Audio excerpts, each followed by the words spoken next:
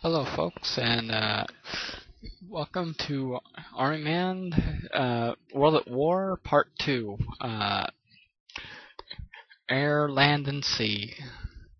This is the second game in the series. As you notice, the heads up display is a lot different. Uh, also, your damage bar looks different. Uh, you still have your bayonet, and you still have your binos. Uh, however, there are some uh, gameplay changes, and that's what this uh, boot camp uh, thing is about. Is just to show off the various gameplay changes and just to play around a little bit. Uh, also, I'm going to be starting this LP on hard difficulty, just to try hard this uh, to see if that affects the AI any.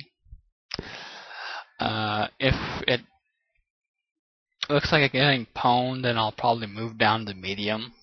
Uh, but I'm not going to go easy this time around.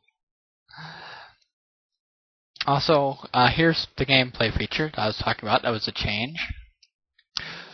Uh, as you noticed before in the previous LP, especially during later stages and some of the earlier stages, uh, I would go into this type of mode here. This time they were nice enough to give you a crosshair so you can aim your shots. Of course, there is an auto aim with that, but uh, it gives you it gives you fine-tuned shots. It gives you a little bit more of a chance to aim further ahead instead of setting off your position.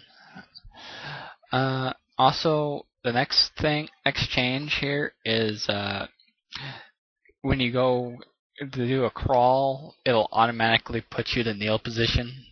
Uh, so you have to hold down the button if you want to keep crawling.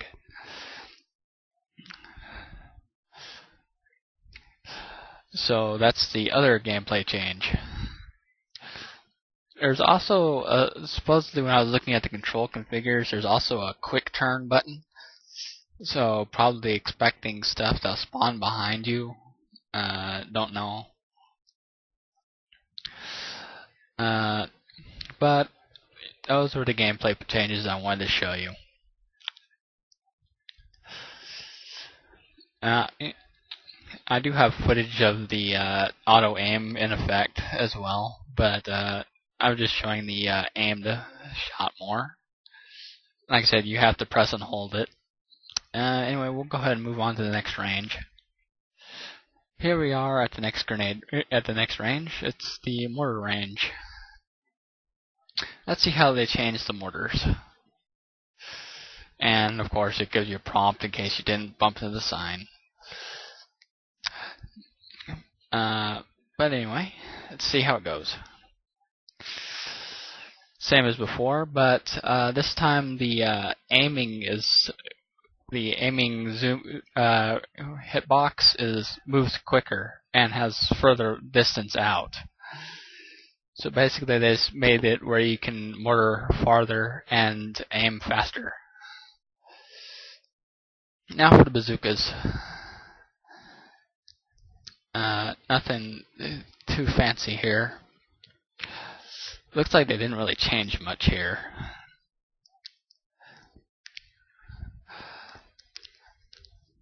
Anyway, we'll go ahead and move on to the next range. Uh, the grenade range. Now, people who watched my previous LP know that I stink with hand grenades. So let's see if they made this game a little more friendlier for me. Or if they made it worse. So we're going to just check a few grenades, see how we go. Alright, simple target. Let's see how it goes. Uh, it didn't explode the one I was aiming at so there is a little bit of compensation for the bounce. Also, I aimed farther and miss, I hit that target at least. Now let's see if we can hit this target here. Yeah, hit that one. Looks pretty good, but let's try another set of grenades. Let's get used to it. Okay, we'll try a little bit harder target here. Because I nailed that one. Let's try an even further target. Nope, I missed. And I'll try that again. Nope, still missed. Saying uh, just because it gives you that range meter doesn't mean that it's going to do the shot, but at least it gives you a little bit better arc than it did in the other game. So uh, that's good. Good that they improved the arc so you can actually throw a grenade rather than it all of a sudden whamming into the wall and accidentally blowing yourself up. Now let's see what they did with explosives. Last time it was 9 seconds. This time it's 8 seconds. Uh, so they reduced the timer by one sec, one to two seconds.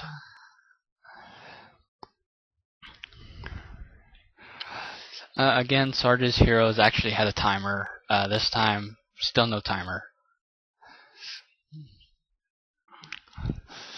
And eight seconds is still plenty enough time to get to, get to some cover and away from the explosive charge. So, nothing, no big deal here. Okay, let's go on to the next range. When this when this charge goes off. Okay. Now to the flamethrower range.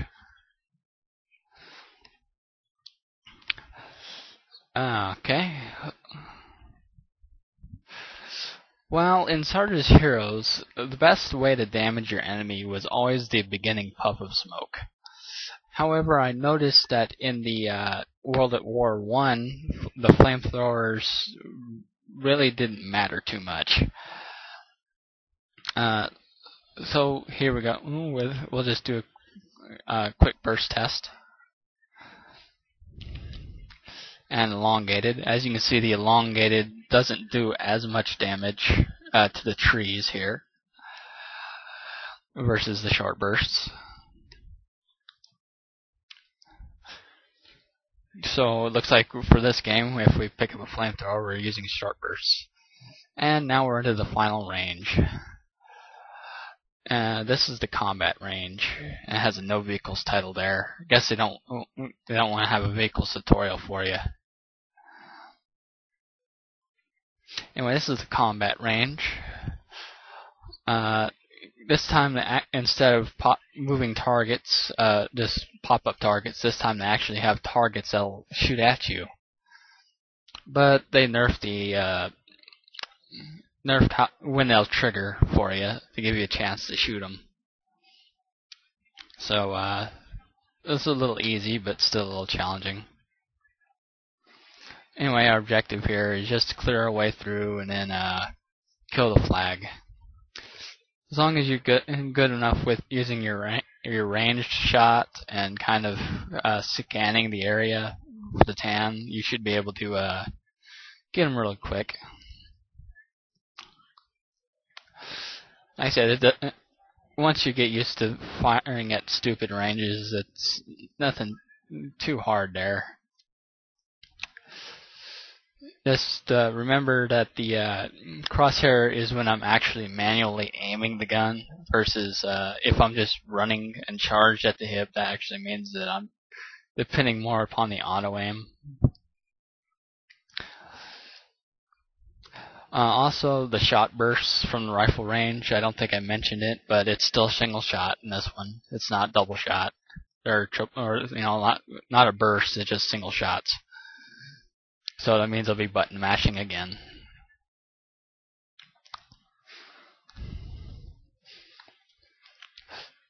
Uh, so, uh, could, uh, thank you for uh, Army Man channel for uh, uploading the PS1 version of uh, Air, Land, and Sea intro.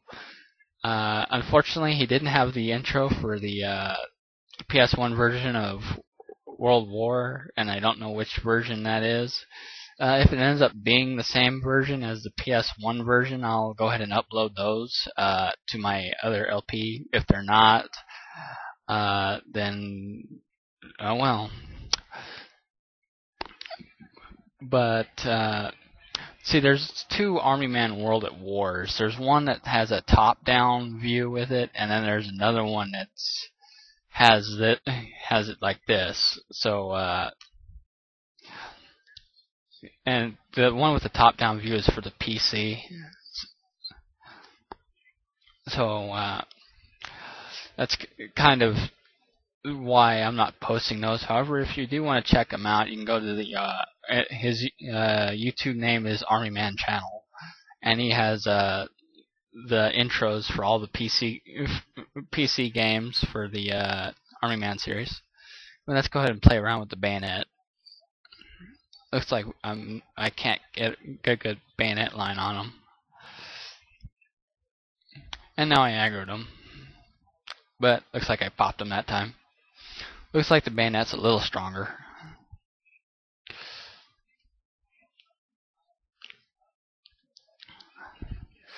Can you spot the tan that's shooting me? Bet you can't. oh, bet you can't. Guys don't know where the tan is that's shooting at me. Well, last chance. Any guesses? Yeah. Any guesses? Alright. Well, here's the answer. He, he's right up on top of the building. Luckily, he, that tracer round gave him away. But as you can see, I'm looking around for the back shot as well. Let's see if anyone's behind me too before I kill him. Notice they offer you some grenades for whatever reason. So we'll go ahead and finish the guy off now before we capture the flag. And uh, there we go. And we graduated boot camp. So this was Kinky signing out. Thank you.